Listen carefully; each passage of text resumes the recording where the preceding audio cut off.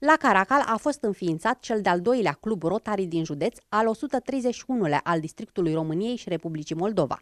La eveniment au luat parte guvernatorul Districtului Rotary 2241 al României și Republicii Moldova, Milian Sopoian, și responsabilul Districtului pentru Extindere, Viorel Bunea. După ceremonia de înființare, guvernatorul Milian Sopoian a înmânat în semnele Rotary carta, clopotul și colanul primului președinte al clubului Rotary Caracal, avocatul Costel Defta, după care a oferit fiecăruia dintre cei 25 de membri fondatori insignele specifice. Clubul Rotary Caracal reunește persoane marcante, medici, avocați, profesori, judecători, psihologi, administratori de firme, care, urmând exemplul de implicare al Rotary în comunitate, vor urma deviza organizației, a servi mai presus de sine.